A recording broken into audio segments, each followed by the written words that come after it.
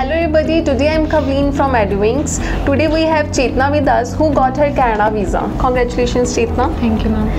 Chetna, tell our viewers which college and program you enroll for. Uh, I am going to Vancouver Community College and uh, my course name is uh, Business and Project Management.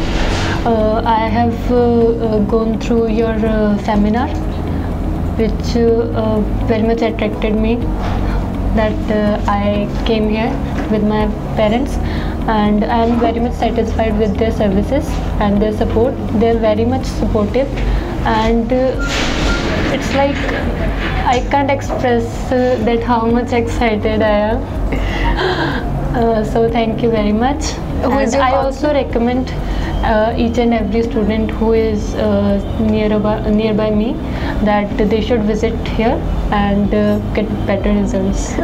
Thank you so much. I hope you have a wonderful future ahead. Thank you, ma'am.